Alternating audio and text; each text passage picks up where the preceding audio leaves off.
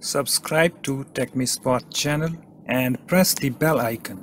And never miss another update. Hi guys, in this tutorial I'm going to show you how to hide left sidebar in Opera web browser on Windows 10 okay? So just open your Opera web browser. And you can see guys we have this you know left sidebar over here. So how we can hide that okay? So you just need to right click on this sidebar and here we have the hide sidebar option.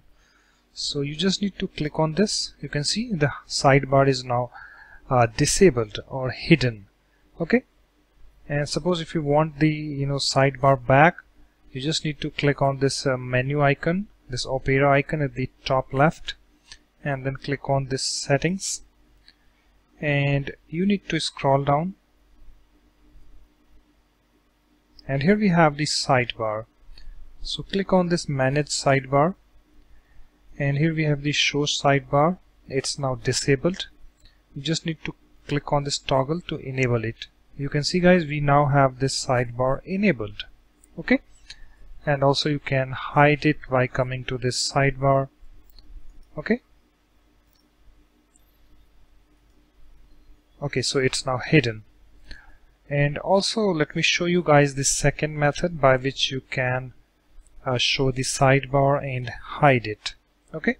So just open your Opera web browser and click on this uh, easy setup icon at the top right. And you need to uh, scroll down. And here we have the appearance. And here we have the show sidebar. It's currently disabled. So just click on this toggle to enable it. You can see it's now enabled. And in the same way you can disable it by coming to this easy setup icon scroll down and under appearance here we have the show sidebar. Click on this toggle to disable it so it's now hidden.